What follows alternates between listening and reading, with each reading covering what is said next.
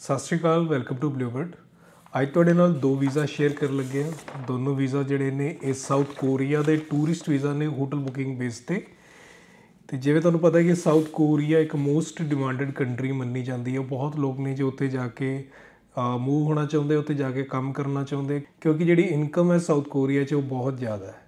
ਤੇ ਲੋਕ ਕਾਫੀ ਮੂਵ ਵੀ ਹੋਣਾ ਚਾਹੁੰਦੇ ਇਸੇ ਕਰਕੇ ਇਸ ਕੰਟਰੀ ਦੇ ਵਿੱਚ। ਤੇ ਰੀਸੈਂਟ ਦੇ ਵਿੱਚ ਦੋ ਵੀਜ਼ਾਸ ਨੇ। ਇੱਕ ਰਾਕੇਸ਼ ਕੁਮਾਰ ਤੇ ਇੱਕ ਰਮਾ ਰਾਣੀ। ਇਹਨਾਂ ਦੋਵਾਂ ਦੇ ਵੀਜ਼ਾ ਲੱਗ ਕੇ ਆਏ ਨੇ। ਇਹਨਾਂ ਨੂੰ ਜਿਹੜੇ ਵੀਜ਼ਾ ਮਿਲੇ ਆ, ਉਹ 90 ਡੇਜ਼ ਦੇ ਮਿਲੇ ਆ ਤੇ 30 ਡੇਜ਼ ਤੱਕ ਉੱਥੇ ਸਟੇ ਕਰ ਸਕਦੇ ਨੇ। ਤੇ ਵੀਜ਼ਾ ਕਿਵੇਂ ਲੈ ਸਕਦੇ ਹੋ? ਤੁਸੀਂ ਵੀ ਜੇ ਅਪਲਾਈ ਕਰਨਾ ਹੋਵੇ ਤੇ ਕੀ ਰਿਕੁਆਇਰਮੈਂਟਸ ਹੁੰਦੀਆਂ ਤੇ ਕਿਵੇਂ ਤੁਸੀਂ ਵੀਜ਼ਾ ਲੈ ਸਕਦੇ ਹੋ? ਅੱਜ ਦੀ ਵੀਡੀਓ 'ਚ ਆਪਾਂ ਗੱਲ ਕਰਾਂਗੇ। ਜੇ ਤੁਹਾਡਾ ਪਲਾਨ ਸਾਊਥ ਕੋਰੀਆ ਜਾਣ ਦਾ ਟੂਰਿਸਟ ਵੀਜ਼ਾ ਤੇ ਤੁਸੀਂ ਹੋਟਲ ਬੁਕਿੰਗ ਬੇਸ ਤੇ ਲੈਣਾ ਚਾਹੁੰਦੇ ਤੁਹਾਡੇ ਕੋਲ ਕੋਈ ਸਪਾਂਸਰ ਨਹੀਂ ਆ ਉਤੋਂ ਤੇ ਪੋਸਿਬਿਲਿਟੀਆਂ ਹੁੰਦੀਆਂ ਨੇ। ਤੇ ਪੋਸਿਬਿਲਿਟੀਆਂ ਕਿਵੇਂ ਹੁੰਦੀ ਹੈ ਕਿ ਤੁਹਾਡੇ ਕੋਲ ਜਿਹੜੇ ਡਾਕੂਮੈਂਟ ਨੇ ਉਹ ਪੂਰੇ ਹੋਣ ਡਾਕੂਮੈਂਟ ਤੁਹਾਡੇ ਹੀ ਹੋਣ। ਕਿਉਂਕਿ ਸਾਨੂੰ ਕਈ ਵਾਰ ਕਾਲ ਆਉਂਦੀਆਂ ਨੇ ਕਿ ਸਾਡੇ ਕੋਲ ਪਾਸਪੋਰਟ ਤੇ ਹੈਗਾ ਬਟ ਅਸੀਂ ਸਾਊਥ ਕੋਰੀਆ ਜਾਣਾ ਚਾਹੁੰਦੇ, ਕੀ ਤੁਸੀਂ ਵੀਜ਼ਾ ਅਪਲਾਈ ਕਰ ਸਕਦੇ ਹੋ ਕਿ ਨਹੀਂ? ਬਟ ਸਾਡਾ ਆਨਸਰ ਇੱਕੋ ਹੀ ਹੁੰਦਾ ਕਿ ਡਾਕੂਮੈਂਟ ਜਿਹੜੇ ਆ ਤੁਹਾਡੇ ਹੀ ਹੋਣਗੇ, ਸਾਡੇ ਵੱਲੋਂ ਕ੍ਰੀਏਟ ਨਹੀਂ ਕੀਤੇ ਜਾ ਸਕਦੇ।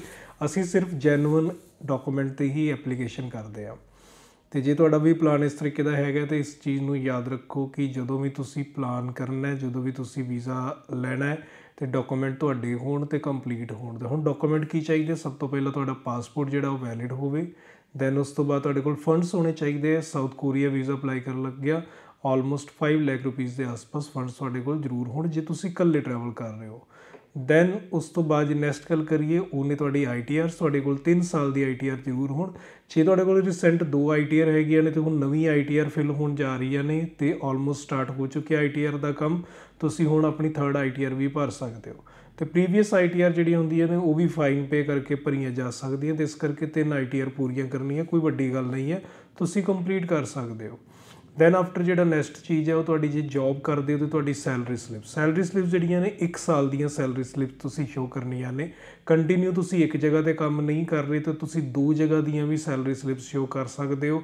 ਜੇ ਤੁਹਾਡੇ ਕੋਲ ਪਹਿਲਾਂ ਕਿਤੇ ਹੋਰ ਜੌਬ ਕਰ ਰਹੇ ਸੀ, ਜੇ ਤੁਸੀਂ ਪਹਿਲਾਂ ਕਿਤੇ ਹੋਰ ਜੌਬ ਕਰ ਰਹੇ ਸੀਗੇ, ਤੇ ਤੁਹਾਡੀਆਂ ਟੋਟਲ ਜਿਹੜੀ ਸੈਲਰੀ ਸਲਿੱਪਸ ਨੇ, ਉਹ 12 ਹੋਣੀਆਂ ਜ਼ਰੂਰੀ ਨੇ। ਤੇ ਜੇ ਤੁਸੀਂ ਬਿਜ਼ਨਸ ਕਰਦੇ ਹੋ, ਤੇ ਬਿਜ਼ਨਸ ਰਜਿਸਟ੍ਰੇਸ਼ਨ ਹੋਣਾ ਜ਼ਰੂਰੀ ਹੈ। ਨਾਲ ਦੀ ਨਾਲ ਤੁਹਾਡੇ ਕੋਲ ਜਿਹੜਾ ਉਹ ਬਿਜ਼ਨਸ ਦੇ ਹੋਰ ਪ੍ਰੂਫ ਵੀ ਹੋਣ, ਜਿਹਦੇ ਨਾਲ ਪ੍ਰੂਫ ਹੋ ਸਕੇ ਕਿ ਤੁਸੀਂ ਬਿਜ਼ਨਸ ਕਰ ਰਹੇ ਹੋ। ਜੇ ਇਸ ਤੋਂ ਇਲਾਵਾ ਤੁਸੀਂ ਰਿਟਾਇਰਡ ਹੋ ਤਾਂ ਆਪਣੀ ਪੈਨਸ਼ਨ ਜੇ ਤੁਸੀਂ ਫਾਰਮਰ ਹੋ ਤਾਂ ਆਪਣੇ ਰੀਸੈਂਟ ਜੇ ਫਾਰਮ ਦੋ ਸੀਜ਼ਨ ਦੇ ਤੁਸੀਂ ਲਾਓ, ਬਾਕੀ ਅਦਰ ਜਿਹੜੇ ਡਾਕੂਮੈਂਟ ਨੇ ਫਾਰਮਿੰਗ ਦੇ, ਉਹ ਲਾਓ।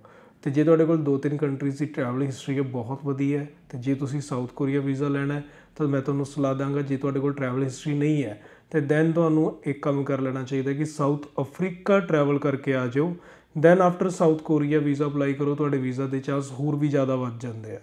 ਤੇ ਜਾਂ ਫਿਰ ਤੁਸੀਂ ਚਾਈਨਾ ਟਰੈਵਲ ਕਰਕੇ ਆ ਜਾਓ ਚਾਈਨਾ ਤੋਂ ਆਉਣ ਤੋਂ ਬਾਅਦ ਤੁਸੀਂ ਦੁਬਾਰਾ ਵੀਜ਼ਾ ਅਪਲਾਈ ਕਰੋਗੇ ਸਾਊਥ ਕੋਰੀਆ ਤੋਂ ਵੀ ਤੁਹਾਡੇ ਵੀਜ਼ਾ ਦੇ ਚਾਂਸ ਜਿਹੜੇ ਹਾਈ ਹੋ ਜਾਣਗੇ।